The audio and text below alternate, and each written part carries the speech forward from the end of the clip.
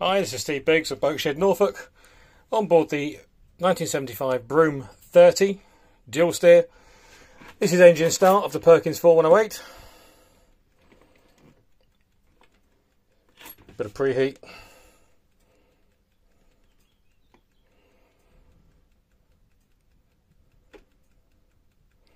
Not got any throttle on her.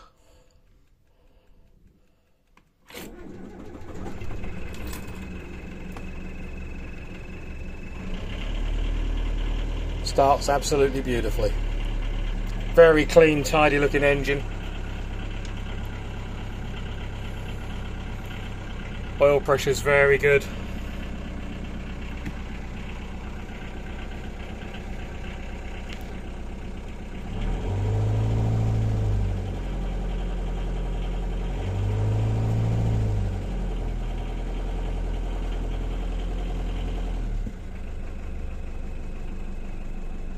Runs absolutely as she should.